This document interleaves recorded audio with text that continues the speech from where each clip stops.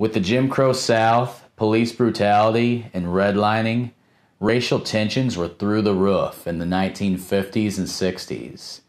There were a lot of people holding on to old, tired, and debunked ideals, and the local governments were putting it into law.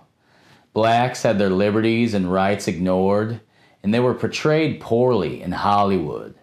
Always the cook or the help, and never the hero or the star.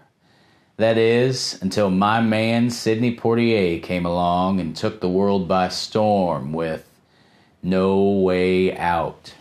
To all you out of work soda jerks without a penny to pinch, to the detectives with all the answers, to the dastardly dames who play men like baby dolls, and the trusted ones too pure for this world.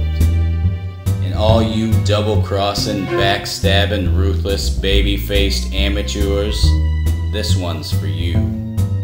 So suit up, turn out the lights, put the match to your smokes, and sit back for the darker side of things. Shadow moonlights, Noirvember. Sidney Poitier plays Dr. Luther Brooks in his first breakout role. Dr. Brooks is a black doctor who has just passed his exam, but is unsure of himself still and wants to stay in his internship under Dr. Wharton. He is asked to help out in the prison ward after a police call alerts paramedics to a two man involved shooting. Lefty, the black elevator operator, pushes on Brooks about how society makes it harder on blacks becoming doctors. But Brooks, he doesn't look at the world that way, knowing that if he had harped on that instead of working hard, he wouldn't be where he was today. And this is the main theme throughout the film racial tensions between blacks and whites, and it just keeps getting worse, especially when Ray and Johnny Biddle show up with gun wounds. Johnny, he's kind of a big dunderhead, always listening to Ray, doing what he's told. And Ray, well, Ray's a racist asshole thug who has no redeeming qualities whatsoever. He wants a white doctor, constantly harassing Brooks with every name in the book, making everyone uneasy. Ray is the personification for unrelenting black hatred. The fire is fueled further when Johnny dies after a spinal tap. Dr. Brooks believes Johnny had a brain tumor, so he wanted to find out. Now that Johnny is dead, the only way to prove this is to do an autopsy. They need permission first from a relative, and that's Ray, who believes Brooks killed his brother on purpose. Ray is set in his racist beliefs, and no amount of reason or exposition will change his ignorant ways. He wants to rely on feelings over facts. There's also a third brother who's deaf and dumb, George, who convinces him further to never let the autopsy happen. Public sentiment is at play as well. Relations with the institution could break if the situation gets out and money and appropriations could be cut off. Wharton is idealistic and correct that it shouldn't matter if Brooks is black. He's a fine doctor and he deserves the hospital's full support. Tensions increase again when Ray is blamed for a missing scalpel that ends up being in Brooks's pocket. This puts further doubt in Brooks's mind. We find out that Johnny's wife, Edith Biddle, may be the key to the autopsy. They've been divorced for a while.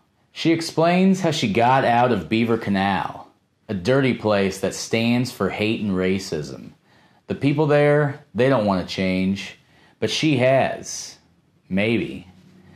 Edith visits Ray in the prison ward. You see, he has a sort of control over her. They were unfaithful to Johnny together. He lies to her, puts her down, and he plays with her emotions. He convinces her against the autopsy and reverts her to her old ways. At Beavertown, she riles up the boys with the story of Johnny's death, and they soon decide to go to war. She's been sucked back in. Lefty gets word of this and he gathers the troops for a full out race war. They are taking the fight to them in Beaver Canal. The women are in fear for their men, and no convincing will stop them. The whites are in the junkyard gathering supplies, slamming chains around and swinging wood planks and sharp objects. The blacks surround them in the alleyways, in an abandoned bus, on the fence. They shoot a flare and everyone stops. Then they rush in and go to war. Several are injured and they are rushed to the hospital. Tensions have never been so high. Will Dr. Brooks find his answer? Will Ray change his wicked ways? Put it in to find out. Overall, this is a powerful debut by Sidney Poitier, who would go on to become one of the greatest actors of all time, black or white, inspiring millions in the process. Check out Denzel Washington's Oscar speech from 2002 to see what I mean. And Richard Widmark, who plays Ray, is one of my favorite actors, but I can't see how anybody could like him after playing this role. An irredeemable racist with a victimhood complex. Gross.